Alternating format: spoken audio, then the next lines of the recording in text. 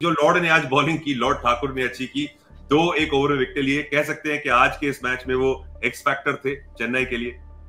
नहीं, बिल्कुल highest wicket taker है वो चेन्नई की तरफ़ से इस इस सीज़न के तो मेरे ख्याल से उनको लेकर भी इसलिए आए थे, उनका मकसद यही था, ग्यारहवें, माफ़ कीजिए, मैंने पिछली बार में पंद्रह में और बोला, वो ग्यारहवा ओवर था जो शार्दुल ठाकुर ने डाला, जिसमें दो विकेटें ली थी तो वहाँ से गेम बदल गया।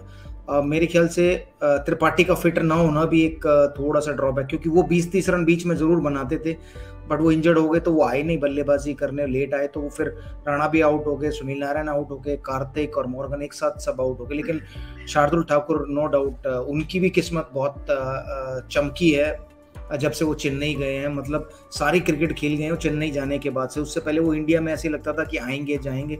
लेकिन जब से चेन्नई से खेल रहे हैं वो तब से इंडियन टीम के टेस्ट टीम में भी आ गए वनडे में भी और टी ट्वेंटी में भी। तो वो उनकी किस्मत बदली और ऐसे नहीं बदली किस्मत की सिर्फ़ चेन्नई से खेल रहे हैं। बदली है ये स्टार्ट्स की वजह से मतलब विकटें ली है उन्होंने अच्छा प्रदर्शन किया है उसके बाद उनकी किस्मत बदली।